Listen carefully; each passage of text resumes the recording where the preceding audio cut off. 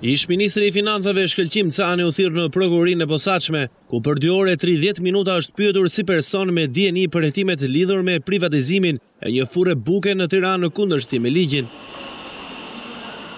Kallëzimi është bërë në shtator të vitit dy mijë e njëzet e dy nga ish-pronarët e tokës që pretendojnë se e kanë fituar të drejtën e kthimit të pronës, jo vetëm me vendim të AKKP-së, por edhe në Gjykatën e Lartë dhe Kushtetuese. por disa ministri, përfshirë dhe atë të Financave, kanë kryer një procedurë ankandi për privatizimin e objektit dhe tokës, ku ka fituar një subjekt tjetër dhe jo pronarët. Për këtë çështje ish-ministri Cani nuk foli pasi tha se kishte firmosur një deklaratë për sekretin hetimor në prokurori. Kam nënshkru një deklaratë në të cilën duhet të ruaj sekretin dhe kaq. Ish-ministri i Financave përsëriti qëndrimin e mbajtur kundër inceneratorëve në një shkresë për dhënie mendimi ndaj Ministrisë së Mjedisit në vitin dy mijë e katërmbëdhjetë. E di shumë mirë se ça kam firmosur. Kam firmosur këtë shkresë. Cani theksoi se është i gatshëm të dëshmojë në SPAK në lidhje me inceneratorët, por deri tani nuk i është kërkuar një gjë e tillë. Pyesni SPAK-un kur ka ndërmend të më thërrasi dhe a do më thërrasë apo jo. Unë pres drejtësi, ligj, drejtësi, rregull. I pyetur për faktin se pasardhësi i tij, Arben Ahmetaj firmosi projektin e inceneratorëve që Cani kishte refuzuar, ish-ministri theksoi se është kryeministri ai që duhet të pyetet në lidhje me veprimtarinë e ministrave. Ben Ahmetaj pyesni kryeministrin për pozicionin e një ministri.